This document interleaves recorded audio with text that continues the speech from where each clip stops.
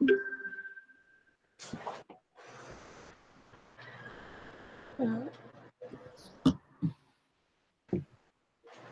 day, Dr. Cruz. We are Group 7 and we will be representing a case about laryngeal cancer.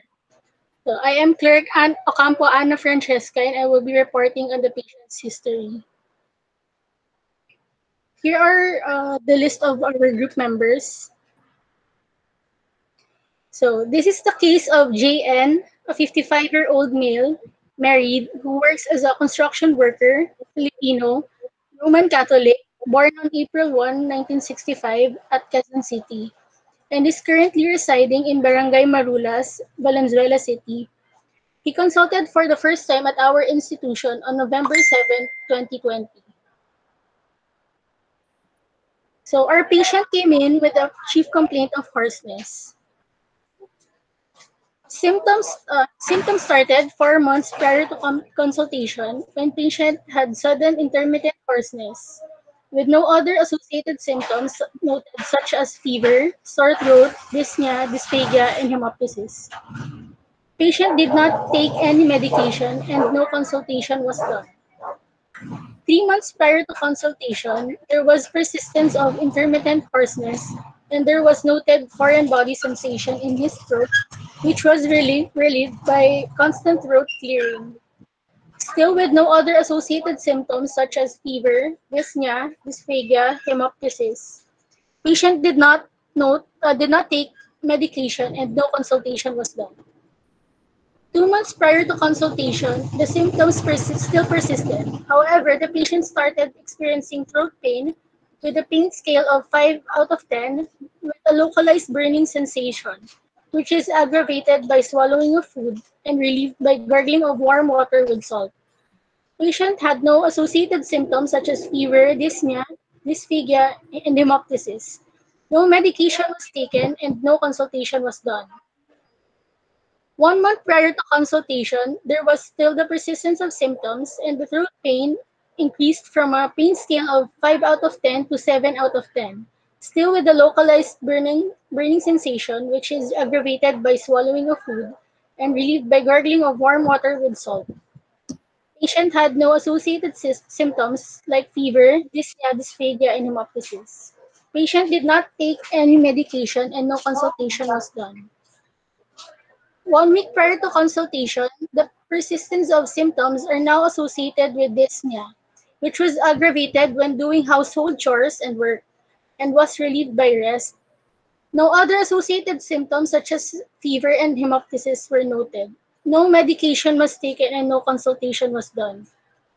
Until one day prior to consultation, there was still persistence of symptoms now associated with productive cough with blood-stained mucus, Due to the persistence of symptoms, patient sought consult at Fatima University Medical Center.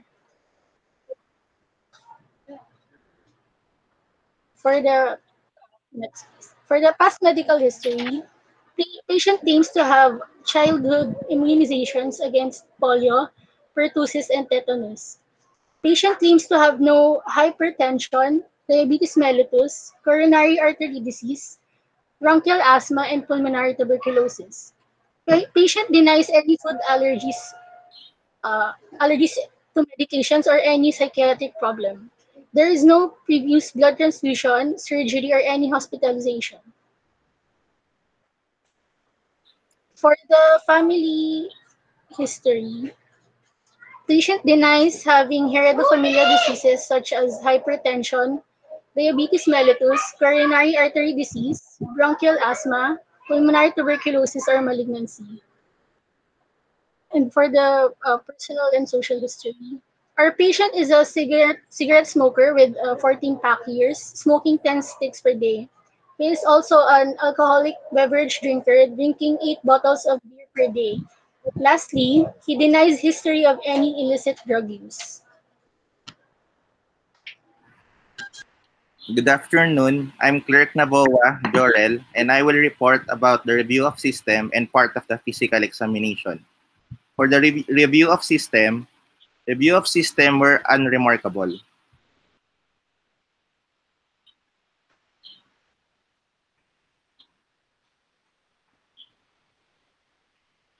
Next slide, please.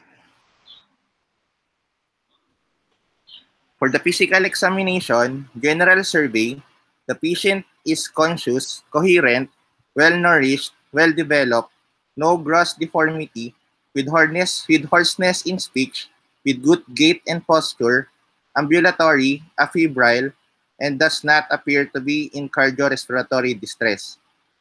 Vital signs, patient's blood pressure is 120 over 80 millimeter mercury, heart rate is 90 beats per minute, respiratory rate is 17 cycles per minute, temperature is 36.7 degrees Celsius, and O2, sa- O2 saturation is 96%. Anthropometric measurement, the patient's height is 167.6 centimeters and the patient's weight is 63.6 kilogram with a body mass index of 22 kilogram per meter square, which is normal. For the skin, the skin is brown in color, warm to touch, smooth, with good mobility and turgor, and no active lesions. Hair is black, smooth, and well distributed. The nails are clean and pinkish with capillary refill of less than 2 seconds and no cyanosis or clubbing noted.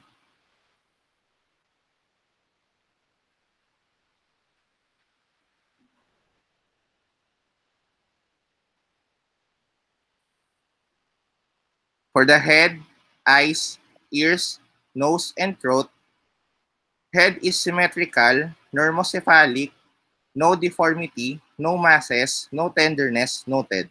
The temporal artery is palpable but not visible. Hair is black, abundant, well distributed, and smooth. The scalp is movable along with the cranium and no parasites noted. The face is oval, symmetric, with no abnormal facial expression. The skin is brown and smooth with no lesions and no abnormal facial movement. Next, please. The eyes, the eyebrows are black, smooth, evenly distributed on both sides. Eyelids have no swelling, no lesion, no ptosis. Conjunctiva is pinkish with no edema, discharge, and lesion. The sclera is white, transparent cornea, no opacity, no lesion. The brown iris and the pupil is 3 to 4 millimeter in size, equally round, reactive to light, and has intact visual field. Next.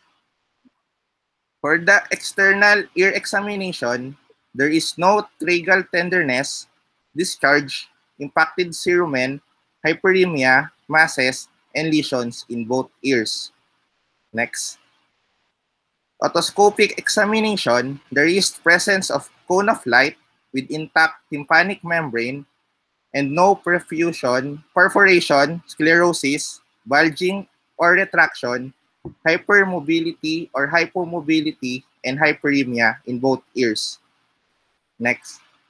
Anterior rhinoscopy, the, the nostrils are patent, there are no discharge, deviation, masses, lesions, congested turbinates, furuncle, and polyps noted. Next. The oral cavity, the uvula is in midline and the tongue is also in midline upon protrusion. There is no hyperemia, trismus noted.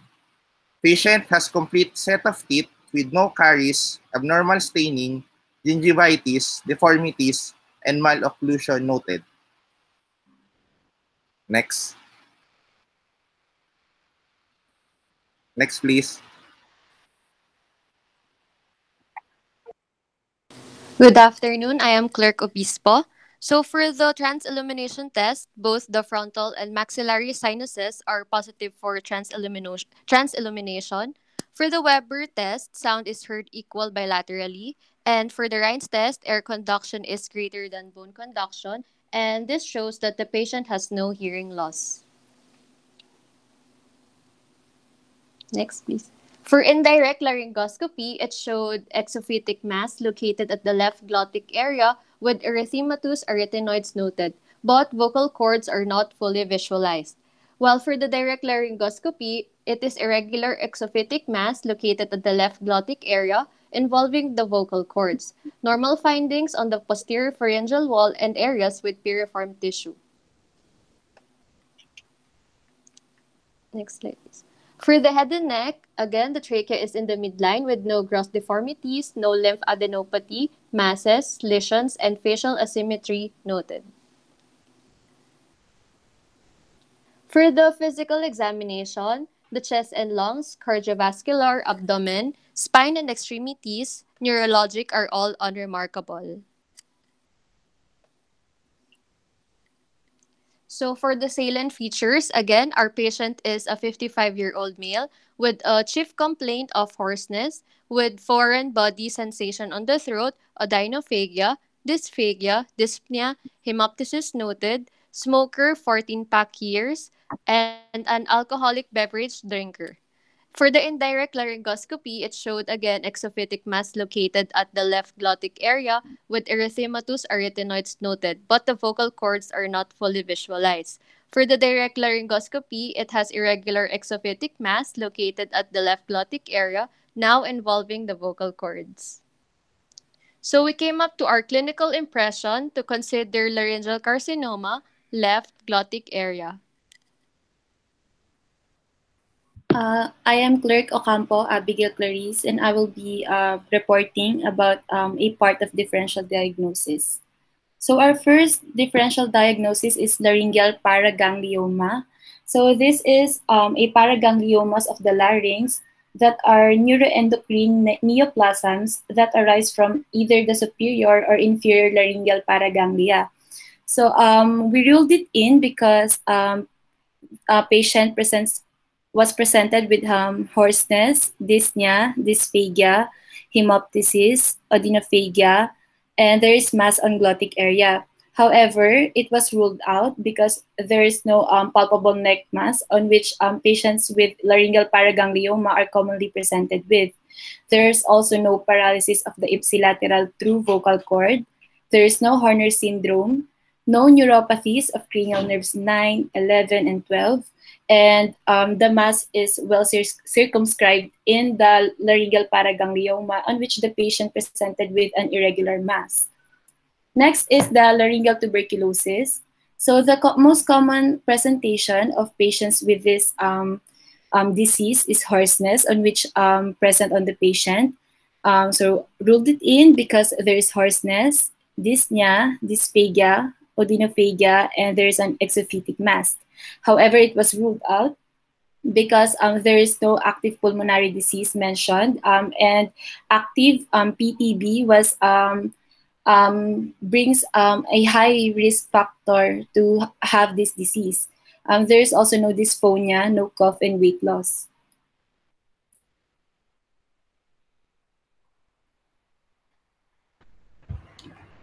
Good afternoon. I am Thuntaristri Nunthaporn. I also discussed with differential diagnosis with laryngeal amyloidosis. It is amyloid deposit in tissue, especially in respiratory organ. It's in with patient present hoarseness, cough, hemoptysis, stridor, dyspnea, and smoking but we rule out because laryngeal amyloidosis is most common in younger and patients do not have any systemic disease and no multiple and no multi-organ involvement and no familial syndromes. No pulmonary disease presents. The mass didn't show with slow growing mass and didn't show yellowish white mass Next, please. The next is vocal fold poly. It is benign of vocal cord. It look in with patient present with throat pain, hoarseness, dysphonia, and smoking. The mass present with unilateral side are located throughout the cortex, but it grew out because no vocal fold hemorrhage. no gastroesophageal reflux that make the vocal fold irritate, and patient did not have excessive voice and no breathiness presence. Next, please. Good afternoon. I'm Clerk Nolasco, Jezarie Ainne, and now we will proceed for the discussion. So first, we uh, we discuss anatomy of the larynx. Larynx is a hollow tube organ uh, continuous with the trachea below and pharynx above in the anterior compartment of the neck. It forms the narrowest point in the respiratory tract between the nasopharynx and trachea, making it particularly susceptible to obstructions. So, for the anatomic region, the laryngeal cavity is divided into three parts in relation to the glottis. We have three the supraglottis, glottis, and subglottis. Uh, for the supraglottis, it is bounded by the tip of epiglottis up to the level of the vocal cord. Uh, glottis is at the level of true vocal cord to 1 centimeter below it. Subglottis is 1 centimeter below the glottis up to the level of inferior border of cricoid cartilage. So for the supporting structures, next, next slide please. Uh, the laryngeal skeletal structure is composed of one bone, which is the hyoid bone, a U-shaped structure that can be palpated both anteriorly in the neck and transorally in the lateral pharyngeal wall, and also several paired and unpaired cartilages. And these car- uh, laryngeal cartilages begin to ossify at about 20 years. For the unpaired laryngeal cartilages, we have three. So the thyroid cartilage, uh, cricoid, and the epiglut- epiglottis. Sa uh, thyroid cartilage is the largest shield-like structure. It is a two laminae of hyaline cartilages that meet in the midline, which we call the Adam's apple. The cricoid cartilage is shaped like a signet ring. The, it is the only com- complete ring and site for emergency. It is located below the thyroid cartilage. It encircles the subglottis like a ring and imparting a mechanical stability that helps to prevent collapse of the laryngeal skeleton. And the epiglottis, it is function as a keel, forcing swallow food to the side of the laryngeal airway. It is attached to the inner surface of the anterior bound arc of the thyroid cartilage. And for the paired laryngeal cartilages, uh, we have the arytenoid, uh, shaped like three-sided pyramid, and also the insignificant or with no functions, two small paired accessory cartilages, which are the corniculate and the cuneiform. So we also have the quadr- quadrangular membrane and the conus elasticus. Uh, quadrangular membrane is attaches anteriorly to the lateral margin of the epiglottis and curves posteriorly to attach to the arytenoid and corniculate cartilages. The conus elasticus is a dense fibroconnective tissue that connects the cricoid cartilage to the thyroid and arytenoid cartilages. So the importance of these two, the quadrangular ligament or membrane plus the conus elasticus is a strong oncologic division between the supraglottis and glottis. It also protects the glottis from the carcinoma approaching from the vestibule. Next slide, slide please. For the laryngeal musculature, so we divided this into two groups, and these are the extrinsic and intrinsic muscles. For the extrinsic, the function of this is to move larynx grossly as a whole.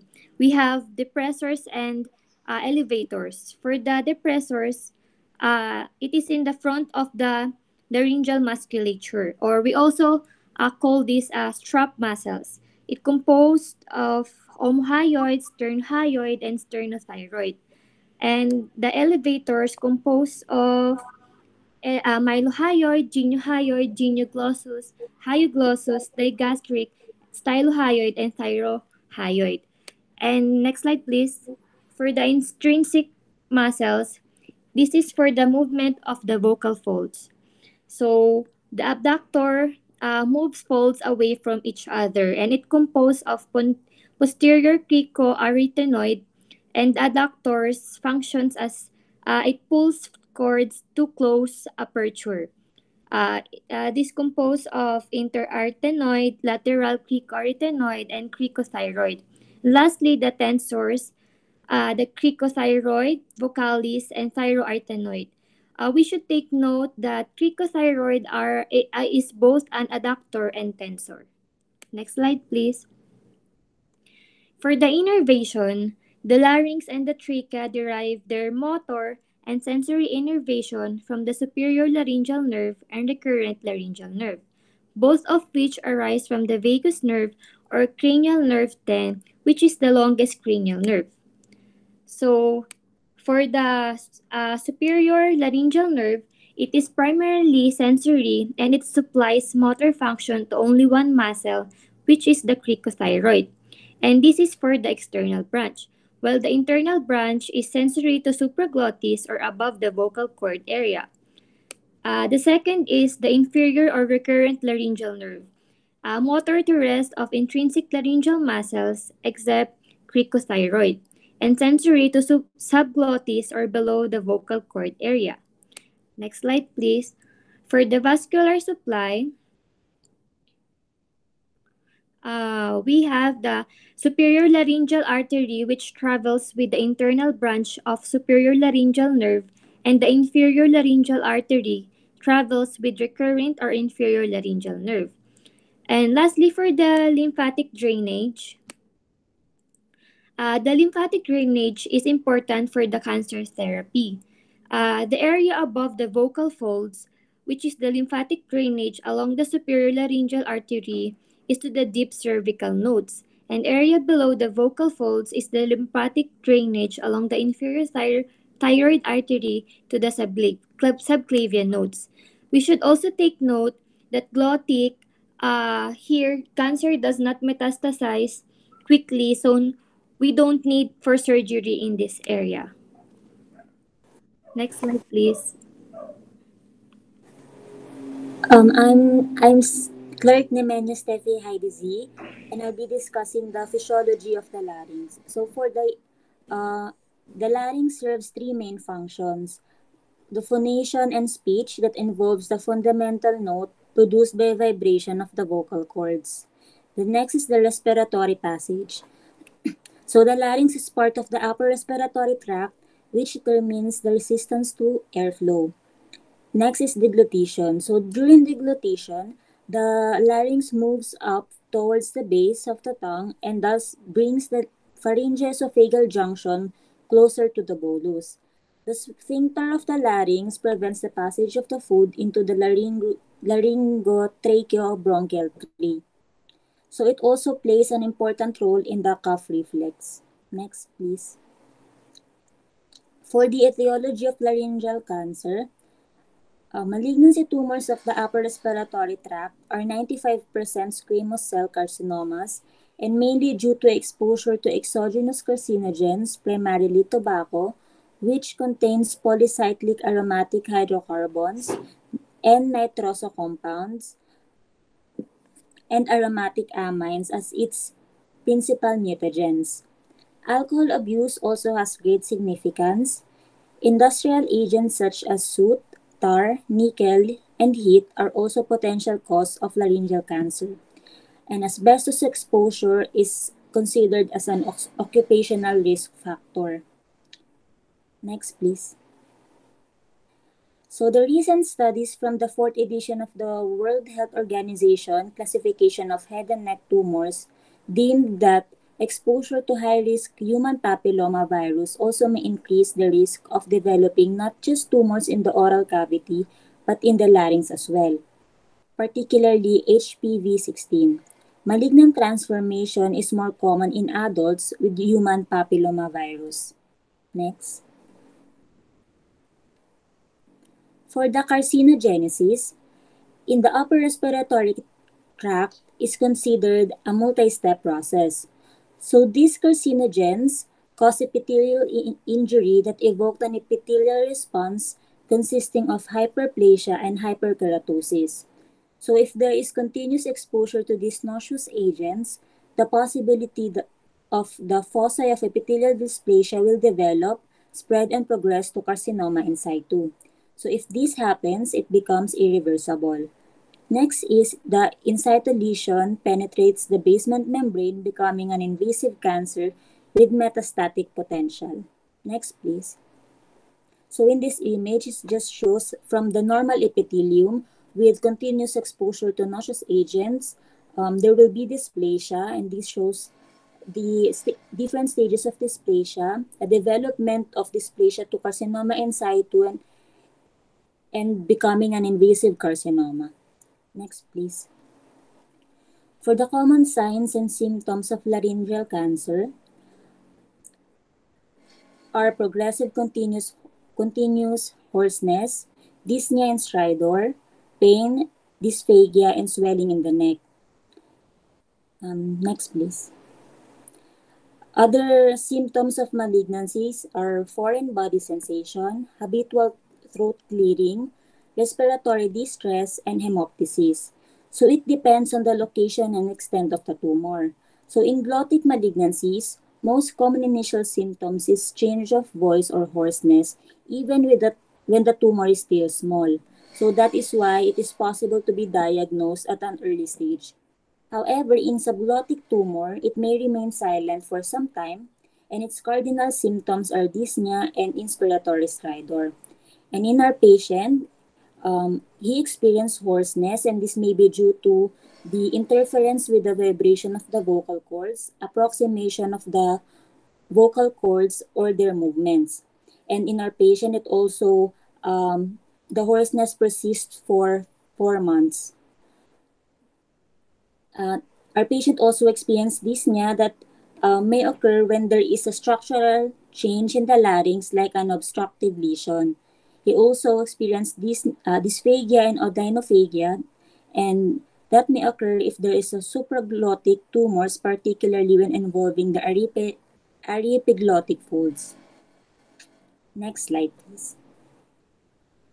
For the premalignant lesions, these are the epithelial changes that may give rise to carcinoma. First is the leukoplakia. It is a whitish, whitish patch of mucosa that cannot be rubbed away. It may be circumscribed or diffuse. However, it is not reliable for benign and malignant differentiation. Next, please. Next is erythroplakia. It is a reddish, non-keratinized epithelial lesion that strongly suggests malignant transformation carcinoma in situ may already be present. It was uh, mentioned a while ago uh, in indirect laryngoscopy, our patient has uh, erythematous arytenoid. Next, please. Pachydermia is an area of epithelial thickening and may be completely, completely covered by keratin scales. Next.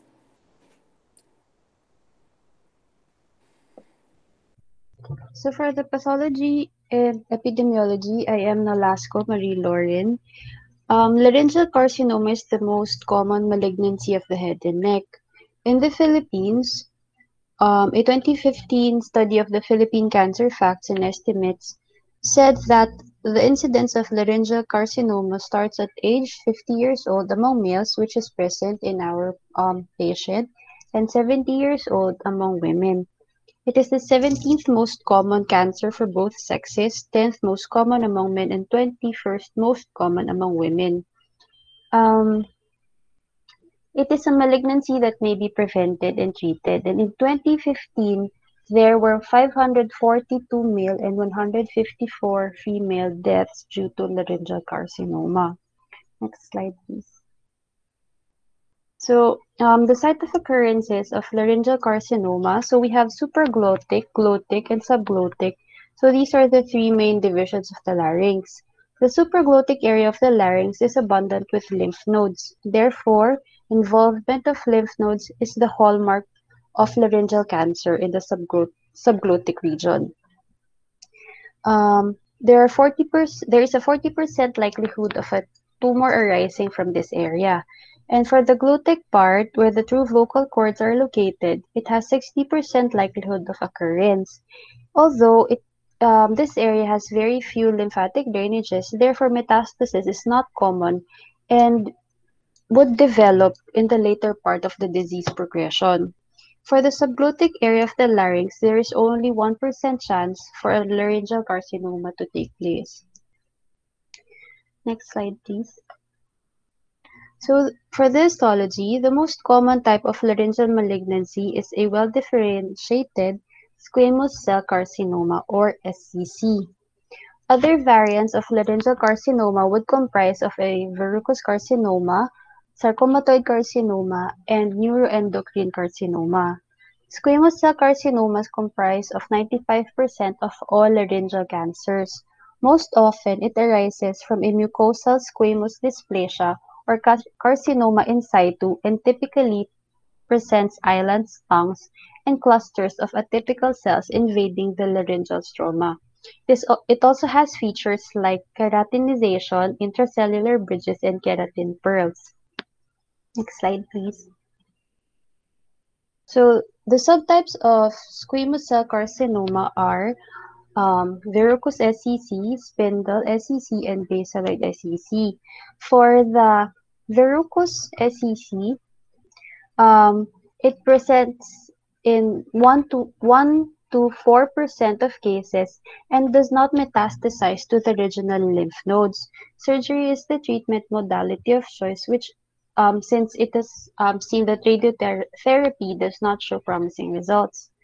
For um, the, an another type is the spindle type of SCC.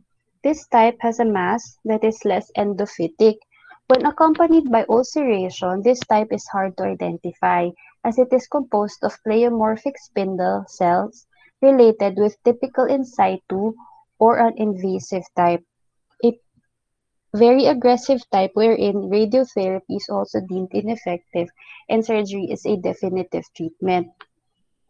And the last is the basaloid type. Since in advanced stages where neck metastases are already present, it is characterized as nests and lobules of small basaloid cells with a high nuclear to cytoplasmic ratio that is well differentiated. Stromal hyalinosis and comedonecrosis are usually present. So radiotherapy and surgery of the primary tumor is usually the best treatment of choice for this type. It is important that we know the type of um, squamous cell carcinoma the patient has as it, each type will take a different course into the advanced stage. Therefore, our treatment of the patient will also change. Next, please. Okay, I'm Clerk Chinami Traiphankosol, and I'll be presenting the diagnostic approach. From the complete history and PE we took from the patient, he is suspected to have laryngeal cancer at left glottic area. After the laryngoscopic examination in PE, the next diagnostic approach for us is to perform CT scan of larynx for TMN staging. If the information is not enough from CT scan, MRI can be done to provide extra information needed for TMN stagings.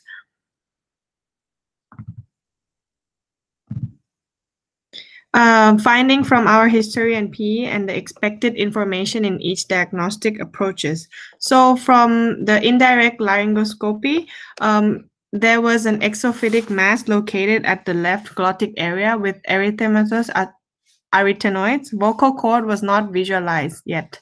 And in direct laryngoscopy, so there was an irregular exophytic mass located at left glottic area involving the vocal cords and there was a normal finding on posterior pharyngeal wall and area with piriform tissue.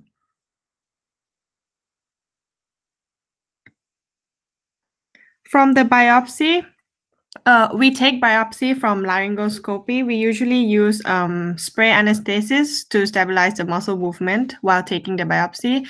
Um, it can determine and confirm the cancer, give pathologic staging, and give type of cancer present, whether it is likely to be fast growing or slow growing.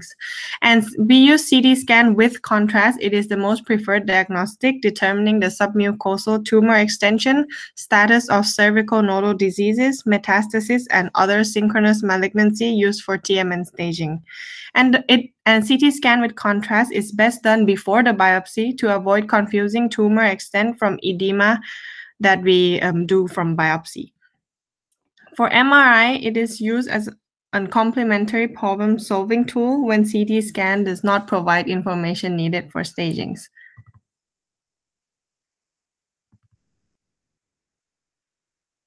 Okay, this is the staging of laryngeal cancers. Next, please. Okay, extra tests recommended to determine patient's general condition, metastasis, possibility of second primary tumor.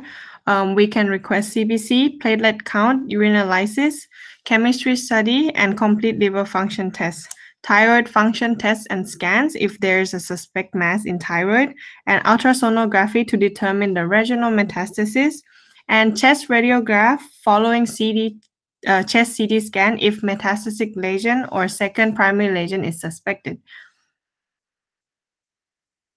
And if patient complains of bone pain, bone scan uh, for metastasis can be done, and cardiac evaluations like ECG and blood clot clotting studies like partial thrombin time and prothrombin times, and CT scan of surrounding area if there's a need of surgery for surgical planning to determine the extent of resectability. I'm Clerk Nemeño Alpha, and I will be discussing the management for laryngeal carcinoma. Next, please. So, in the management of laryngeal carcinoma, TNM classification or staging is very important since this will be used in planning the proper treatment of the patient. And aside from that, we should also consider the age, comorbidities, the type of laryngeal carcinoma, as well as the choice of the patient and family. For um, this type of cancer, surgery, surgery, radiotherapy are the main treatment choices. So first, we have radiation.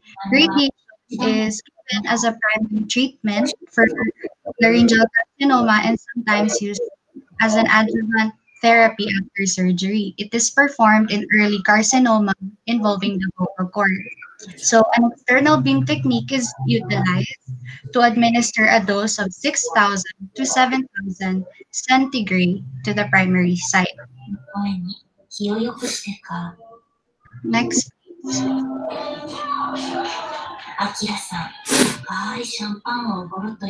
So radiation has advantages and disadvantages. So for our advantages, it has a superior voice quality compared to surgery after the treatment.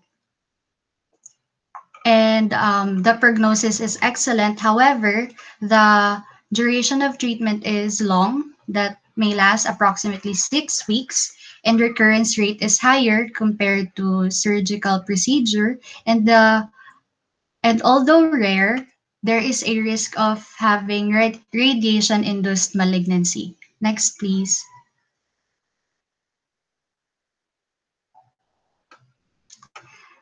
And uh, short-term side effects that um, may last until six weeks after finishing the treatment include mucosite, mucositis, odynophagia, dysphagia, skin erythema, altered edema. Long-term side effects include varying degrees of xerostomia, fibrosis, and edema, and uncommon side effects are hypothyroidism, chondroradionecrosis, and osteoradionecrosis. Next, please. Hello, good afternoon. I'm Clerk Navida Kenneth Louie, and I will be discussing surgical management of laryngeal cancers. We divided it into glottic and sub supraglottic and subdivided it into voice sparing and non-voice sparing. So for glottic carcinoma, voice sparing procedures, first is the vocal cord striping. The principle, principle of this method is the removal of the vocal cord epithelium, but early vocal cord lesions are initially treated with radiation therapy. The approach for this method is in endolaryngeal by microlaryngoscopy. Next slide, please. So second is chordectomy, partial or complete. The principle of this method is removal of the tumor limited in the middle third portion of the vocal cord. The approach for this method is endolaryngeal by microlaryngoscopy with CO2 laser resection or external access via thyrotomy. Next slide, please. Next is partial laryngectomy. The principle of this method to, is the tissue resection for bilateral and advanced glottic malignancies may include resection of cartilaginous structures of the thyroid and cricoid cartilage. The approach of this method is external via thyrotomy or endolaryngeal by microlaryngoscopy with CO2 laser resection. For non-voice sparing procedure, total laryngectomy, the principle of this method is complete removal of the larynx with separation of the airway and foodway and construction of a permanent tracheostomy. Next slide, please. So for the supraglottic laryngeal carcinoma, for voice sparing procedure, first is the horizontal partial laryngectomy. The principle of this method is removal of the supraglottic larynx with the preservation of the glottic plane and arytenoid cartilages. The approach of this method is external via horizontal partial laryngectomy or endolaryngeal by microscopy with CO2 laser section. Next slide, please. So for non-voice sparing, total laryngectomy, the principle of this method is complete removal of the larynx with separation of the airway and foodway and construction of a permanent tracheostomy.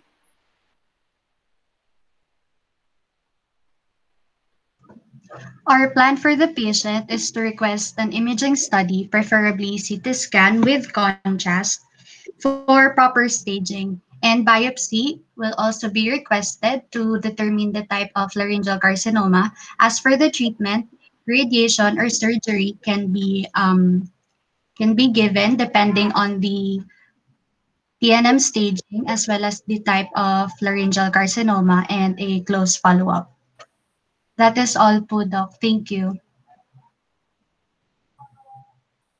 And here are the uh, our, our references.